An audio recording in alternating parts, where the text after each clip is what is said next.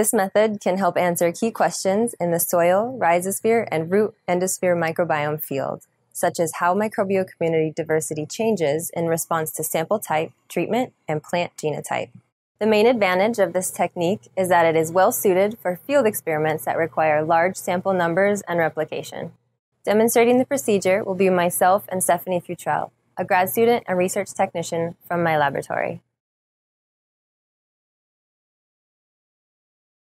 To begin the protocol, label a washpan and bucket with a sticky note with plant sample details. Carry the labeled bucket to the plot and leave the washpan at the established workstation in the field. Randomly choose and collect two plants per plot from different areas within the plot. Next, pierce the soil with a shovel to a depth of 30 centimeters to cut any of the lateral roots holding the plant in the soil. Excavate the plant roots by leveraging the shovel and place the root ball in the labeled bucket. Bring the bucket back to the workstation in the field. Shake the roots and use a spade or handheld tiller to remove soil from the roots. Wear gloves and place the roots near the processing station.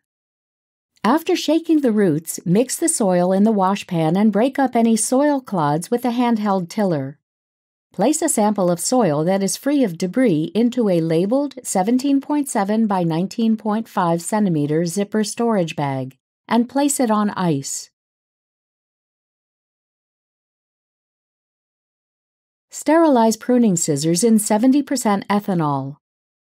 Use the sterile scissors to excise a variety of roots, approximately 4 to 6 roots per plant.